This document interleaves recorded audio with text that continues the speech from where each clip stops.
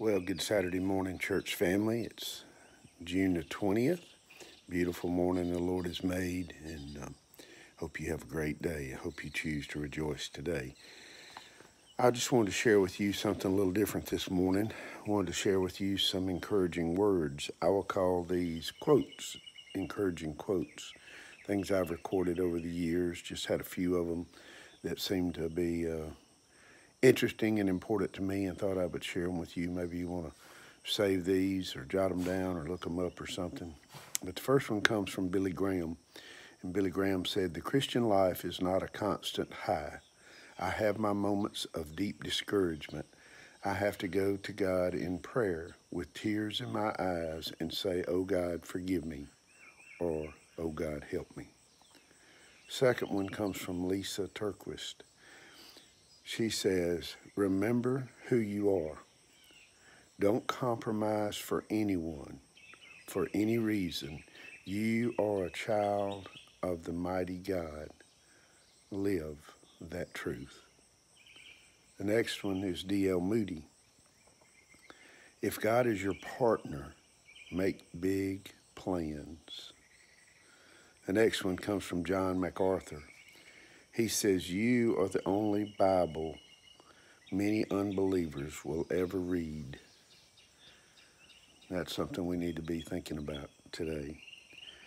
The best and the most beautiful things in the world cannot be seen or even heard, but must be felt with the heart.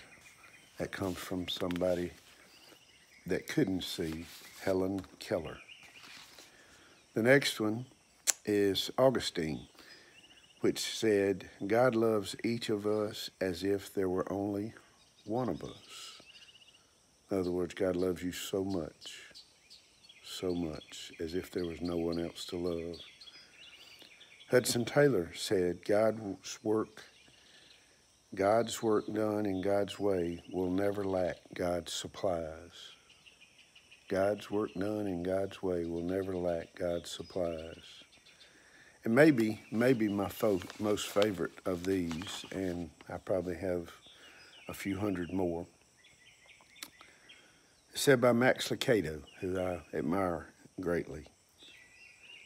And Max Lucado said, God never said the journey would be easy, but he did say that the arrival would be worthwhile.